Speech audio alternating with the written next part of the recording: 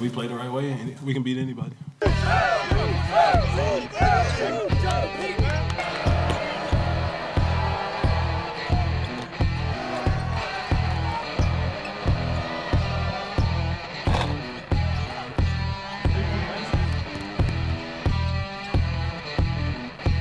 Couldn't respect Florida anymore. Respect the heck out of Coach White and the program, and it, just, it was just really a good win for us and uh, proud of our guys. We were just focusing in on, on trying to get to their shots and contesting them. And uh, we, we, we, saw games like 17 threes against Gonzaga, 15 against Stanford, uh, North Florida, they had a ton.